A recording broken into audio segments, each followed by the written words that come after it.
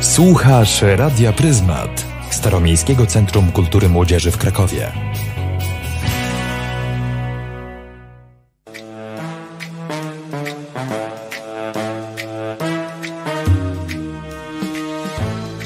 Operacja Styl.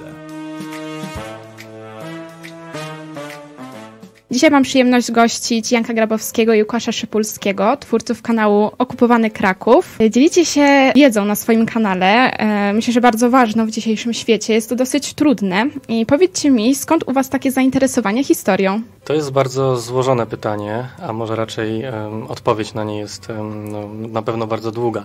Mówiąc tak wprost, to przede wszystkim wynika, tak mi się wydaje, z mojego wykształcenia i z moich zainteresowań, ponieważ jestem historykiem, ale jestem też właśnie przewodnikiem po Krakowie i gdzieś to zainteresowanie przeszłością miasta spowodowało, że zacząłem się interesować też właśnie okresem e, II wojny światowej, okresem niemieckiej okupacji e, miasta Krakowa, co postanowiłem przekuć w no właśnie taką twórczość, w czym właśnie pomaga mi Łukasz. Tak, bo ja z kolei moje zainteresowanie historią tak naprawdę zaczęło się stosunkowo niedawno, bo od kiedy poznałem Janka i zaczęliśmy prowadzić ten kanał. Wtedy tak naprawdę dopiero moja, moje zainteresowanie historią rozkwitło, ponieważ nie miałem większej, większej styczności z historią no, na studiach. Jestem z wykształcenia, jestem inżynierem raczej umysł ścisły i oczywiście lubiłem historię na, w liceum, w gimnazjum i natomiast potem nastąpiło takie wyhamowanie, a teraz mamy znowu fascynację, można powiedzieć, tymi materiałami, które robimy i, i, bardzo mnie to cieszy, że, że mogłem wrócić do tego zainteresowania, które jeszcze w podstawówce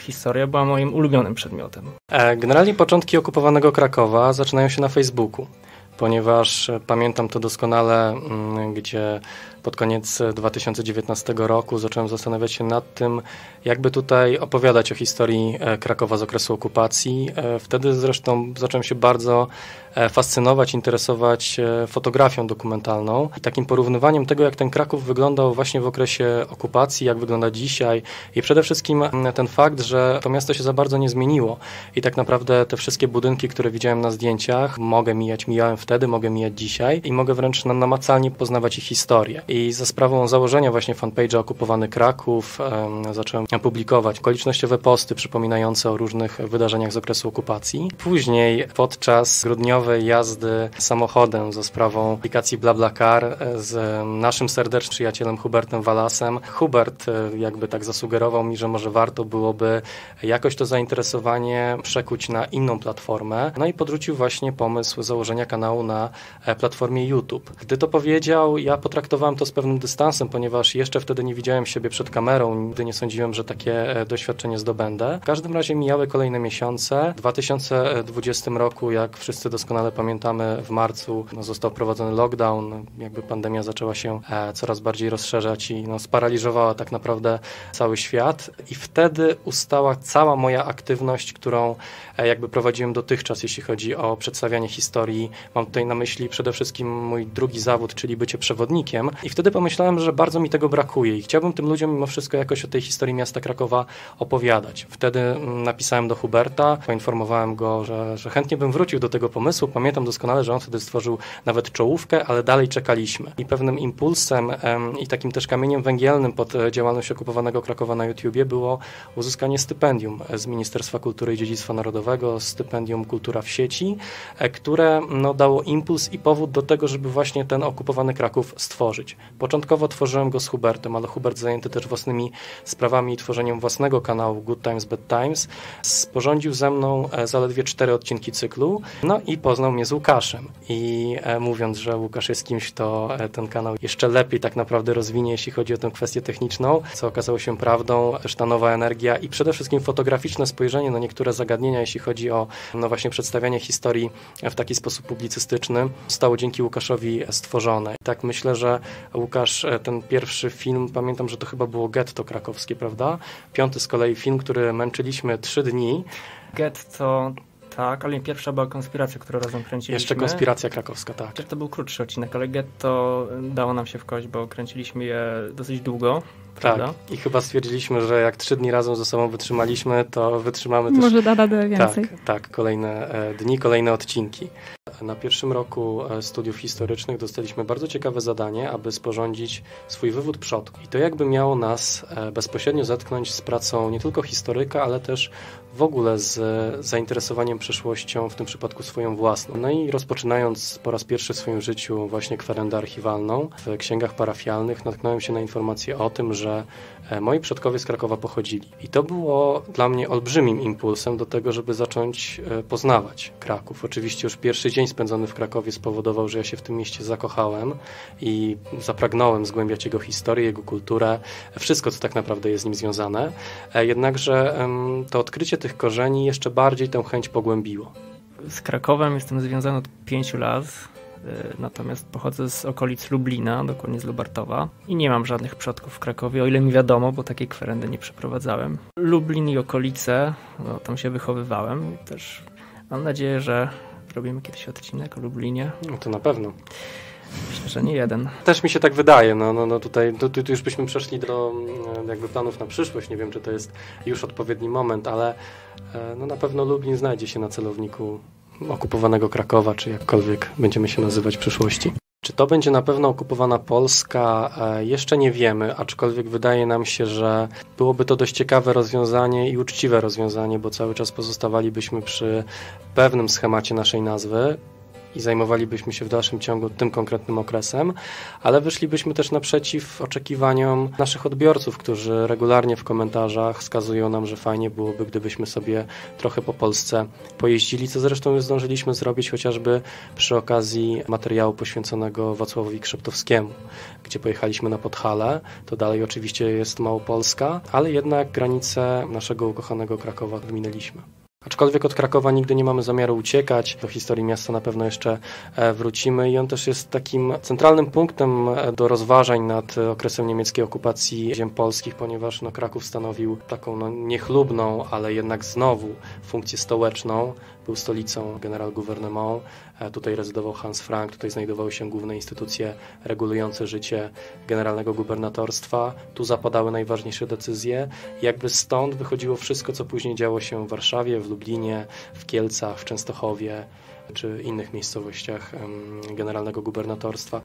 Z Krakowem się nie żegnamy, będziemy w nasze centrum. No, natomiast jeżeli się uda pojechać gdzieś dalej, no to tak byłoby super. Też myślę, że dla takiego szerszego odbiorcy, jeżeli on widzi nasz kanał Okupowany Kraków, myśli, że no okej, okay, fajne treści, fajne odcinki, ale jeśli chodzi o związanie się na dłużej z naszym kanałem, śnięcie subskrypcji, no to może właśnie odstraszać ten, ten Kraków. Właśnie rozszerzenie tej, tej działalności, zmiana nazwy kanału myślę, że wpłynie pozytywnie na odbiór ogólnie tego kanału i, i też to, że Kraków trafi do takiego szerszego grona odbiorców. Historia Polski jest niewyczerpanym źródłem do pomysłów na odcinki, na artykuły, na książki, na tak naprawdę zgłębianie przeszłości tych różnych miejsc, więc właśnie często, tak jak ostatnio prowadząc cykl o życiu codziennym, zgłębiamy jakieś zagadnienie, nagle pojawiają się trzy kompletnie nowe e, aspekty, które też moglibyśmy poruszyć i też zrobić z nich odcinki. Co więcej, często się okazuje, że ten Kraków nie przestaje być istotny tylko dla okresu okupacji, ale że ta okupacja e, kładzie się jeszcze cieniem na Kraków, również jeśli chodzi o lata powojenne. I tak jak na przykład ostatnio realizowaliśmy odcinek poświęcony procesowi Amona Gyta, tak, komendanta e, obozu Plaszow, człowieka, który stworzył istne piekło w mieście Krakowie. Jego proces był toczony właśnie tutaj w mieście. Tego jest po prostu bardzo dużo i czasami mi się na przykład wydawało, że a co jeśli skończą się pomysły na odcinki o Krakowie? Mam wrażenie, że te pomysły nigdy się nie skończą. Muzeum dla nas jest takim warsztatem troszeczkę. My tam e, często mamy kilka scen w plenerze, gdzie opowiadamy o danym zagadnieniu, a gdy chcemy pokazać to zagadnienie namacalnie, właśnie poprzez archiwalia, nagle się pojawiamy w Muzeum Armii Krajowej i dokładnie pokazujemy różnego rodzaju archiwalia, muzealia. Jest tego naprawdę dużo i są to też przy okazji dokumenty, których e, gdzieś tam e, we własnym zakresie byśmy po prostu nie zorganizowali, albo by nas po prostu bardzo dużo kosztowały, co, co też um, gdzieś tam by utrudniało samą pracę, a chyba widzowie Bardzo doceniają, że pokazujemy oryginalną Kenkartę, oryginalny Ausweis, oryginalne świadectwo ukończenia szkoły, czy właśnie gazetę, prawda, gdzie nie pokazujemy reprintu, tylko pokazujemy faktycznie gazetę, która ma w tym momencie 70-75 lat. Dowiedzieliśmy się o tym, że zostaliśmy nominowani, oczywiście było to dla nas wielkie zaskoczenie, wielka nobilitacja. Bardzo się ucieszyliśmy z, z tego powodu. Potem mieliśmy okazję pojechać do Warszawy na galę wręczenia nagród. Przy okazji poznaliśmy też kilka osób w kuluarach gali. Przeprowadziliśmy kilka rozmów e, z innymi nominowanymi, także była to naprawdę świetna przygoda dla nas.